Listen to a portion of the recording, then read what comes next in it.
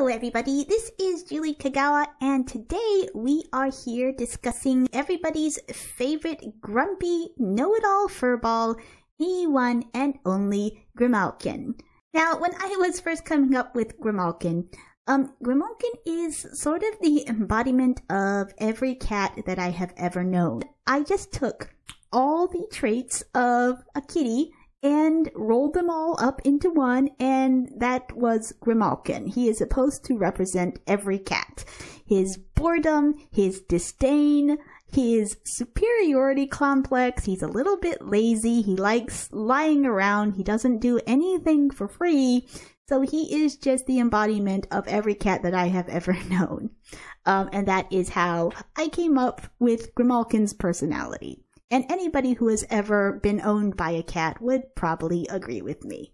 Now, Grim has been a staple of the Iron Fey series from the beginning, from the very start, when Meghan first lands in his tree and he demands a favor from her to take her to the summer court.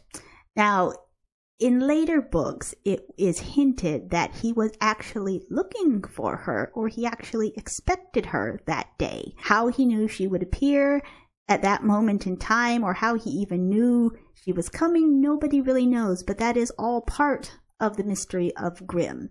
Grim takes the role of the wise old guide in the Iron Fey series. They need him there because he is there to point out the obvious he is there to tell them where they need to go next. He is there to show them the way to the impossible. Well, of course I know where this hidden thing is. Of course I know where to find that particularly impossible item that has never been seen before.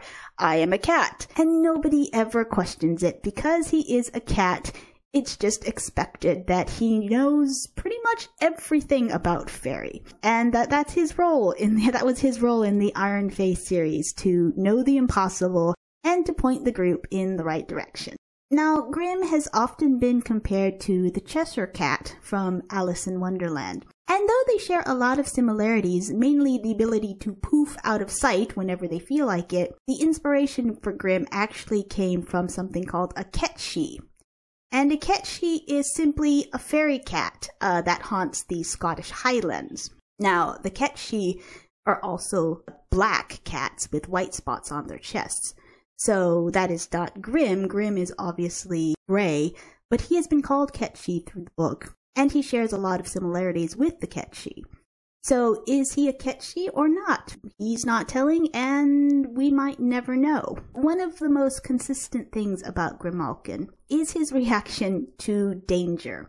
And the group gets themselves into uh, dangerous situations a lot. So Grim's reaction to danger is to just vanish. Something is coming, he disappears. And it's almost become a, a running joke now that if Grimalkin disappears, something dangerous is coming.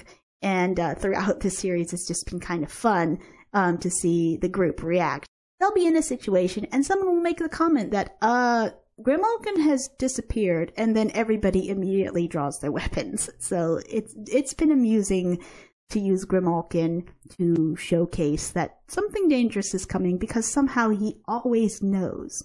Now, much like Mab, Puck, Titania, and Oberon, Grimalkin has actually appeared in Shakespeare. Has appeared in Macbeth, or should I say, she has appeared in Macbeth when one of the witches calls out, I come, Graymalkin, referring to her uh, familiar, which takes the form of a cat.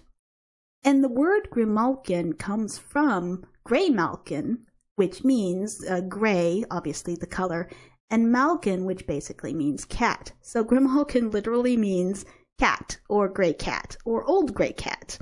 So the last remaining question is, what is Grimalkin? Is he a cait sith? Is he a familiar? Or is he something completely unique? We may never know, and I think he would prefer it that way. But we do know this about him. He is a cat. And that is all that we need to know. So, thank you for uh, joining me on this talk about our most mysterious uh, member of the Iron Fey team. I hope you enjoyed it.